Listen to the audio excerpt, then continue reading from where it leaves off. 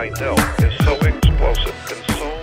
Good morning, beautiful people of the internet. My name is Jim Lee from Climate Viewer News, and we are doing the Climate Viewer 3D Daily Report. Today is July 10th, 2014, and we have more storm damage moving out of the U.S., the uh, upper northeast, and uh, luckily we didn't have any storm uh, tornadoes today like we did yesterday. Um, and we're going to come back over here. We have significant flood uh, warnings up and down the Mississippi. Uh, they're right about, they're forecasted 23.4 feet. Um, in fact, we can come over here and you can click U.S. River flood stages. And you will see the red circles are very high. As you can see, it says uh, major flood stage at 20.5 feet. It's 18 feet already. Yeah, they got a lot of flooding coming up down the Mississippi. You guys watch out. Let's turn that off. And then over here um, in Nebraska, green H's are for hail, blue W's are for wind damage, and you can see that as well. So they um getting some gusts across uh, Nebraska. So this is our uh, Google Cloud Map, and if you just drag it like this, you can actually see it animate over time. Pretty cool stuff. These are the same tools that the NASA, uh, National Weather Service, they all use. Um, all of this data is pulled live from those sources, and you can come check it out every day. Pretty neat stuff. Beautiful. So, um, all of these rain icons that you're seeing on the screen, these are actually cloud seeding projects. Now, many people know about weather modification, most don't. Um, weather modification in the form of cloud seeding is when you take a plane or a ground based emitter, you burn some chemicals, and you release them into the atmosphere. These chemicals are cloud condensation nuclei, or CCN, or ultrafine CNs. And these particles attract water, which should form raindrops and fall in the form of pre- precipitation. Now, that's not the only purpose for weather modification using cloud seeding. There's also hail mitigation. Um, as you can see, snowpack augmentation. That's another category. Um, snowpack augmentation along the Rocky Mountains, what they'll do is they have ground based emitters on the west side of the mountain. They burn silver iodide from uh, towers at the base of the mountains that flows up into the sky and forms snow on top of the Rocky Mountains, which melts and provides water for most of the west coast. Um, this has been artificially generated for the past 30 years. Um, our, and we can see that the problem is still exacerbated as you know these are still areas of drought, constant drought. Um, we currently don't have the water for the demands uh, placed on the system, and we've been altering it for at least 30 years. Uh, cloud seeding started in 1946. It was heavily employed in the 80s and forward. Um, the U.S. Department of uh, Agriculture and the U.S. Bureau of Land Reclamation do uh, national based cloud seeding programs. The state of California, Nevada, um, Colorado, Utah. Um, most of these states, Texas is a very large one, they will use uh, artificial rainfall to fill up their reservoirs behind their dams. Um, they got to keep those things topped off. Lots of money involved your weather is modified on a daily basis and you can come through and click on any one of these and see them for yourself. Now I have these up. They're from the pollution category here. At the bottom of the pollution category you can see weather modification. There's geoengineering projects. This is provided by the etc group. Uh, Jim Thomas at the etc group sent me an Excel file which I turned into a fusion table which you can see here and I converted that over to the Google Earth map. And this will go through and tell you where the geoengineering projects around the world have currently, um, you know, been documented. But what we're what we're really concerned about is there's so much going on that is unknown, and that's what the etc. group's doing here. We're trying to find out exactly what's going on in our skies, who all i who are actually involved in controlling our skies currently. If you look at what's going on with NASA, um, with all of the government agencies, uh, Obama passed a uh, climate change executive order yesterday. Um, we are pushing very quickly towards global control of our environment through something called solar radiation management. Um, Bill Gates has a a fund called FICER, F I C E R, which he is uh, has Ken Caldeira and David Keith uh, controlling the money in that fund to do studies on solar radiation management. Now, this is a process of mimicking volcanoes' natural cooling process. They go and spray a bunch of sulfates or aluminum uh, nanoparticles high into the stratosphere, and this will reflect sunlight to cool the planet. Now, that is a scary proposition, and it is their solution for dealing with the CO2 global warming problem. Um, obviously, there's going to be many ramifications for that, uh, changes in precipitation patterns, um, all kinds of stuff. They have so many unknowns, it is unbelievable. Yet they push forward. Now, history will tell us that this is not new. Um, Mr. Jim Fleming, who is my personal hero, I really hope to meet him one day. Um, I've learned a lot from him. He has many great articles, books, speeches, um, presentations. This is a, a, great short one, and uh, I suggest you watch it. But what he makes the case is that there have been three cycles of weather modification that have occurred, and you know each time history repeats itself. Um, in the early days of pluviculture, during the early 1900s, rain men would come into town and make all these promises, never deliver, and be run out of town with shotguns, you know, and they get their little bag of money and they're running out of town. Um, a very famous one is in San Diego. There was a gentleman named uh, Charles Mallory Hatfield. He was an American Indian. Uh, San Diego paid him, said they would pay him $10,000 to make it rain.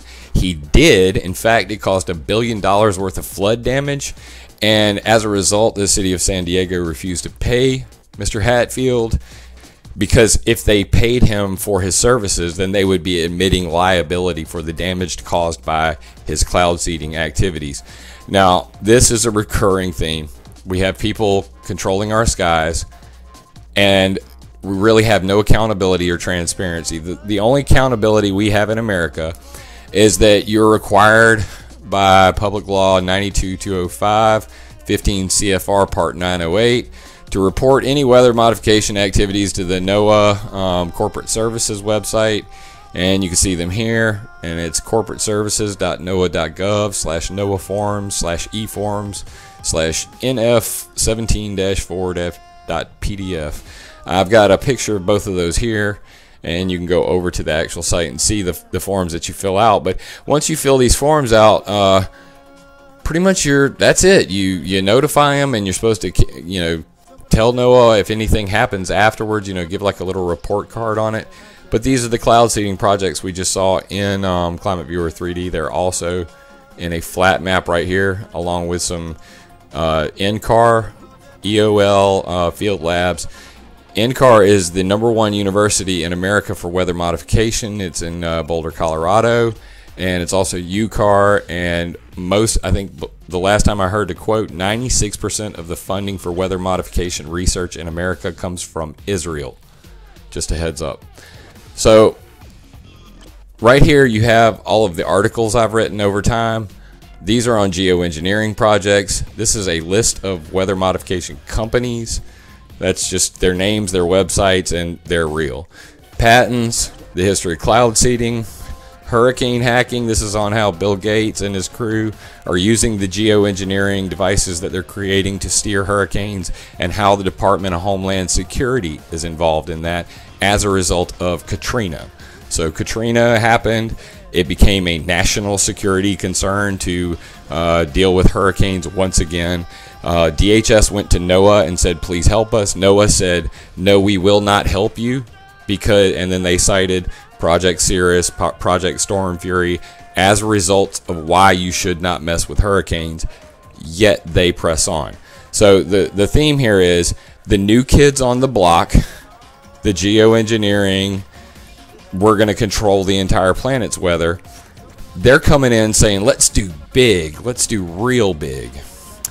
And the cloud seeding weather modification guys, they're saying, "Hey, man, we've been doing this for 60 years, and the National Academy of Science still has not, you know, agreed that it there's real science behind cloud seeding." Behind cloud seeding, you guys want to push ahead and do SRM and these big things and move hurricanes. Not advisable. So then we have electric rain making. This is ionizers, um, cloud shifting, weather resonance technology. This is about as sci fi as it gets. It's very controversial, but nonetheless, companies are making claims that they can control clouds through electricity. The blue gold rush. Fresh water has been dubbed blue gold in many publications as potable water will be to this century what oil was to the last century. Less than 3% of the water on Earth's surface is fresh water. The blue gold rush is a very big concern. Look at your fracking, look at uh, all of the different sources of groundwater pollution, and realize that water is precious and we're running out of it. And I think it's pretty evident with all the expensive water bottles we're seeing lately. Engineering tornadoes, um, using tornadoes to create electricity. Believe it or not, also creating tornadoes to blow stuff up, but we won't get into that today. Military weather warfare. Um, the owning the weather paper in 1995 was followed up by a 1996 and 97 um, series of talks. This one is by Dr. Barnes, and he's at the uh, U.S. Army. Uh, let me get this straight. Test Technology Symposium in 1997. So it's a U.S. Air Force guy talking at a U.S. Army installation about controlling the weather. He talks about using carbon black and contrails to control the weather in there. Good stuff. Geoengineering roots. This is Dr. Lowell Wood, um, father of the H bomb. Good friends with Ken Caldeira. He is the late Lowell Wood, I might add. So let's be respectful. Um, he is the current uh, force behind the new move for this geoengineering SRM. It came out of Lawrence Livermore Labs. There were three papers issued by Lowell Wood, uh, Teller Wood, and Hyde. So there you go. Um, this is the Asilomar Conference. Check it out. This is a climate scientists getting together saying, hope that the world doesn't hate us for what we're about to do. Angels play this harp. This is Lucy in the Sky with Diamonds using harp to compress atmospheric methane into diamonds to reflect solar radiation. So this is geoengineering SRM proposed by um, Mr. Lightfoot. Uh, turning methane in the sky into diamonds to reflect sunlight. Finally, we have the chemtrail debate. This is about uh, you know all of the arguments over semantics in the world of atmospheric modification and climate change as a result of aviation pollution and contrails. Uh, followed up with a timeline on that, which with many references. If you want into the biofuel uh, climate change debate over chemtrails, or if you're just curious, check it out. And these are my two babies. There's two timelines here. There's about six months worth of stuff in there if you want to dip in. So why don't we? Right here, I have it embedded, but we'll click over to it. You can see all of the history of weather modification. Try henceforth. The Ohio Rain Wizard. All the way up till today. When we get into crazy things like the Silver Lining Project. These are uh, Stephen Salter, um, John Latham, and uh, funded by Leeds University and a couple others. They're making boats to spray salt water into the sky to make clouds whiter to reflect uh, sunlight. So that would be cloud albedo modification or marine cloud brightening. It's another form of SRM. So yeah, please check this out, um, especially this the double catastrophe. Good stuff. Um, lots of information in these in the timelines and it's all very well referenced you can see the references underneath each one multiple multiple references to this stuff um, harp creates fire in the sky so this is your climate viewer 3d report for today i'm sure i'm always going to go longer than i expect um, but it's all for you guys and with that unless someone like you cares a whole awful lot nothing is going to get better. It's not